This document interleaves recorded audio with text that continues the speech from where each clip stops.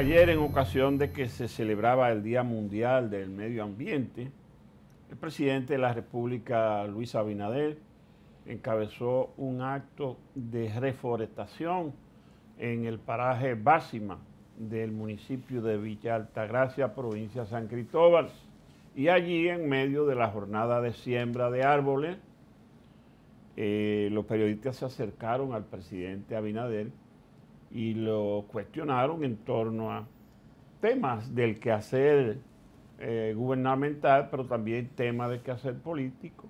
Y una de las preguntas fue en torno a si ya había decidido sobre su eventual reelección. Y el presidente muy calmado dijo, bueno, todavía no, eso no se ha decidido, pero yo tengo hasta el día 17 de agosto para tomar mi decisión. Y ese día que es el último día que tengo como plazo para tomar la decisión, yo anunciaré si voy o no voy. pero, el presidente eh, eh, hablaba como tan confiado que uno sabe que el presidente tiene listo todo lo, que, lo concerniente a esa hoja de ruta política que él debe iniciar ese día. No, pero el que se equivoque, ningún, ningún partido político tiene que distraerse pensando que no va a ir.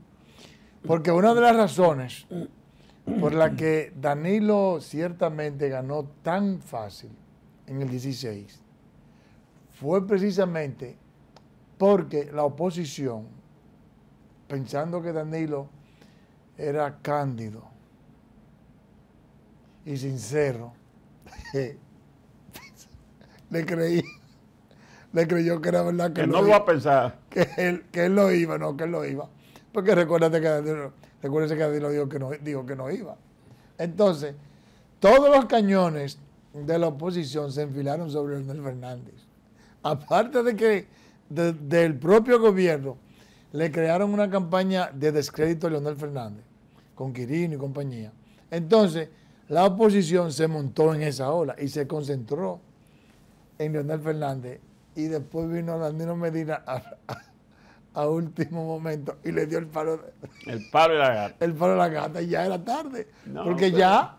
El, el presidente, todo el mundo quiere saber que el presidente se va a, decidir por la o a intentar la reelección y que tiene amplias posibilidades a partir de lo que analizamos en el segmento anterior, de que la posición luce fragmentada, divide y vencerás. Y que eh, siendo así, el partido de gobierno, que tiene ventaja sobre los demás, en condiciones naturales, porque está en el gobierno, eh, la llevaría muy fácil. No es que inmediatamente, de manera isofática, cuando se dividió el PLD, inmediatamente el PRM pasó a ser como partido el número uno. Sí. E isofacto, así se anunció la división, Luis Abinader pasó, a ser la figura política mejor posicionada. Isofacto.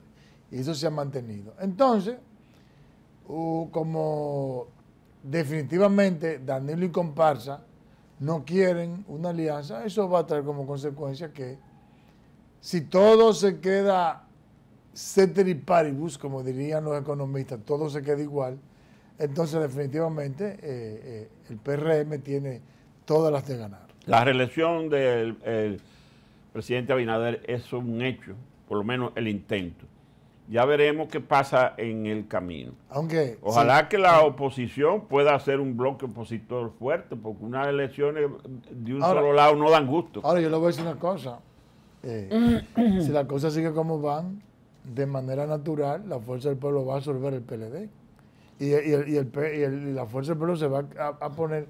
Si las cosas siguen como van, de aquí a, a seis o siete meses, si el PLD, Danilo Medina, porque yo le voy a, yo voy a imputar todos los errores que está cometiendo, error entre comillas.